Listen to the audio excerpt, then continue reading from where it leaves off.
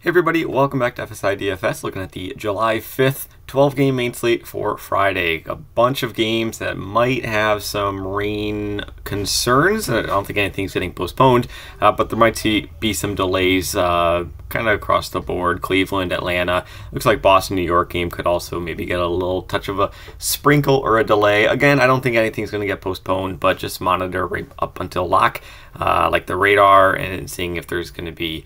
Um, any concern with the pitchers in those games. Uh, with a 12 game slate, we got a lot of teams, a lot of starting pitchers. Uh, I think there's a whole lot of options kind of at all the tier levels. Like, it's, it's really, really uh, loaded in, in my opinion.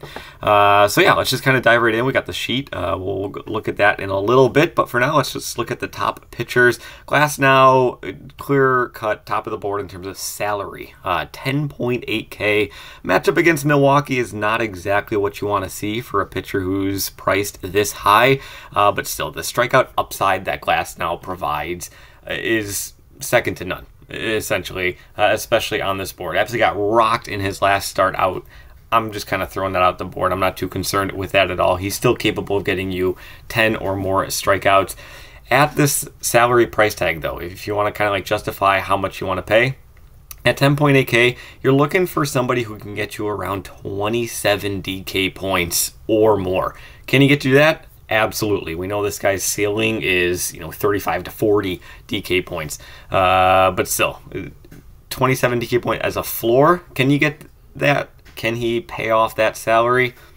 Who knows? I, I think he's still going to be my favorite pitcher in this top tier, but I could also see uh, Tanner Bibee being right there as well. And I could see him being ranked as like the favorite pitcher uh, in this higher salary tier just because he's so much cheaper. 1600 in savings can go a long way. And he also has that strikeout upside. And we've been seeing it the past couple of starts. Um, or past handful of starts from him. He's got that upside at 9.2, 2.5x salary is kind of like what I I I use to see if like the the value is there for him. So at 9.2k, can he get me around 21 to 24 DK points? Yes. Do so. Do I trust Bibee to get me 20? Two DK points more than I trust Glasnow to get me 27 to 29 DK points? Oh, that's kind of the question that you got to ask yourself.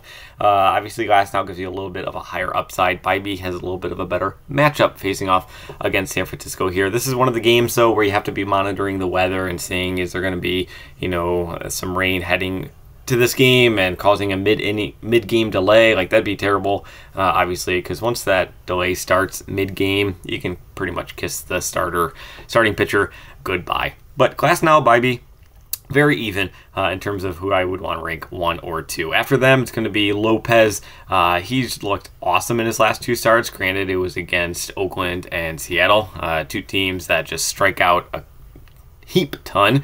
Um, Houston, they don't strike out as much as the team, but still, uh, they're not scaring me too much. Uh, and I think that Lopez has, you know, a consistent years worth of data to show that, you know, he's a very, very solid pitcher. After Lopez, Fried, and then kind of like a gap, and then Houck uh, facing off against the Yankees. Going into the mid range, I think Ragans, it's going to be really intriguing to see what the ownership's going to be looking like for Ragans. He is facing off against Colorado. He is in Coors Field. However, DK really priced down his salary. This is a guy that we are paying close to 10K for uh, over the past month, and now he's dropped down to 8.2 because he's in Coors. And yes, he's in Coors. But still, this is a phenomenal pitcher facing off against a bad offense.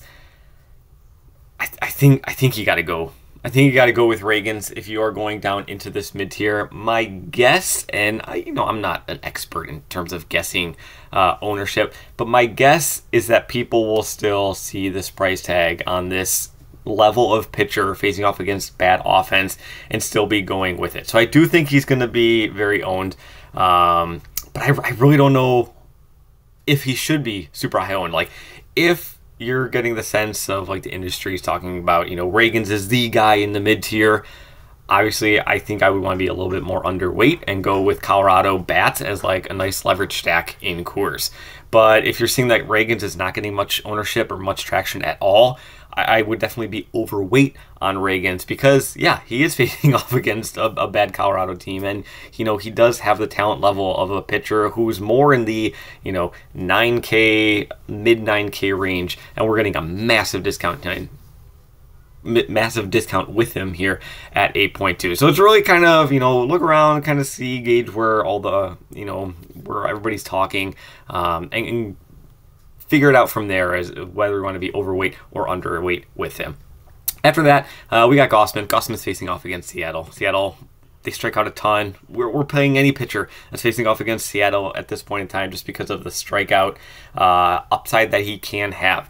And Gausman, Ragans, right next to each other in salary. So again, if you're thinking about fading Ragans, just pivot to Gausman uh, and go with that nice Colorado stack. But if you're going to be, you know, overweight on Ragans, maybe you don't have as much interest in Gausman, or maybe you go with both of them and just really lay into uh, some of those top tier bats with all the extra savings that you're going to have um, because you're going kind of cheap at pitcher.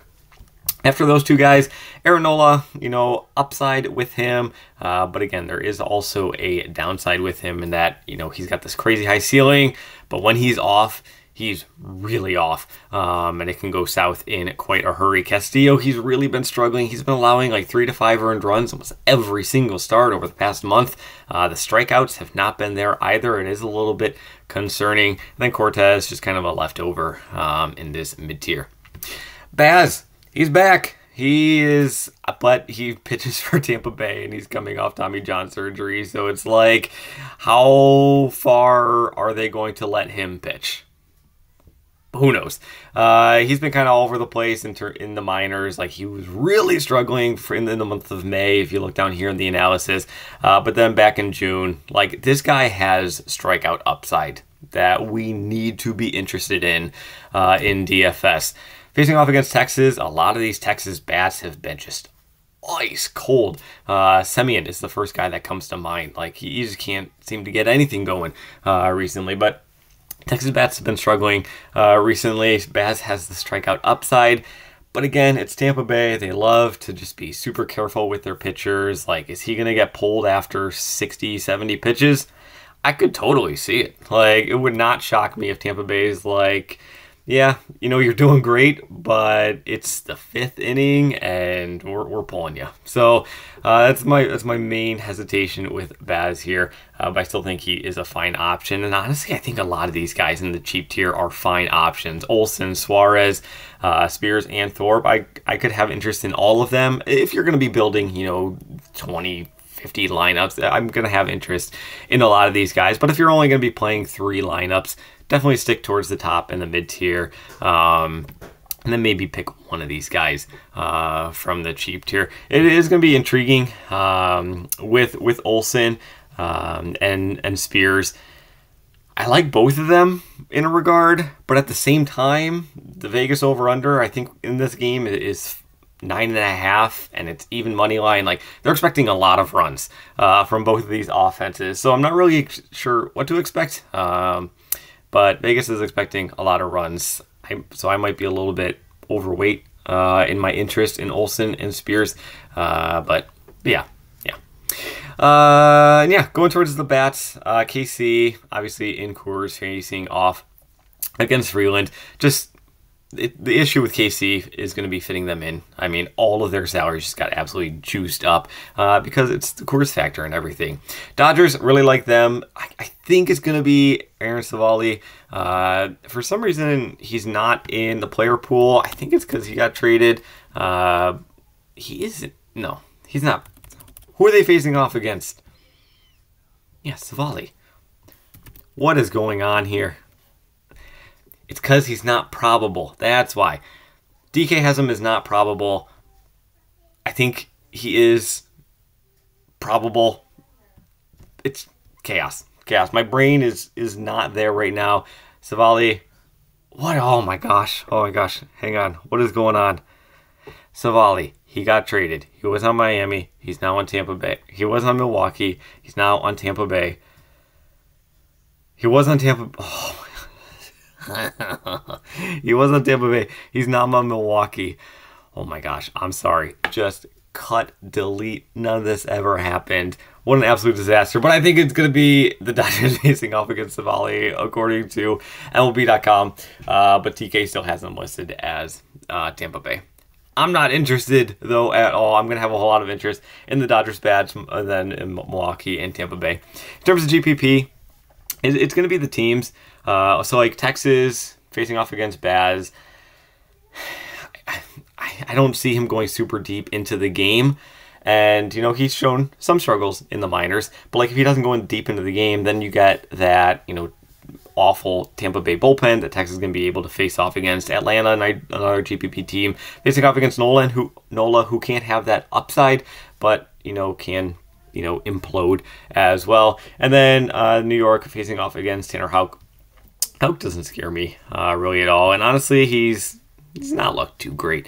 Uh, lately, you can see he's allowing two, three, or more earned runs. The strikeouts have definitely dipped over his past handful of starts. Now he has faced off against Toronto and San Diego, two teams that you know have lower strikeout rates. But now he's going up against uh, New York, and they don't really strike out at all uh, either. So gonna have interest in those New York bats, Atlanta, Texas, the the teams that have solid offenses and can get up there. Uh, Texas maybe not as much with their struggles that they've been having. Uh, but again, if they can get if they can chase Baz early and get a lot of that Tampa Bay bullpen, uh, I'm going to be interested in in Texas. And then cheap guys, Cincinnati, Detroit. Again, high over under in this game and into cheap offenses. Uh, so going to have interest in that. So, man, I'm still trying to like get my brain wrapped around the Civale and the trade and all that stuff. Like Yikes, what a disaster that was. Uh, but you can see where my brain's at. I, I blame the 4th of July holiday and kind of where everything is going. Uh, but good luck in your contest. Thank you for watching. Hopefully, this was able to just kind of guide you in the right direction um, with your builds.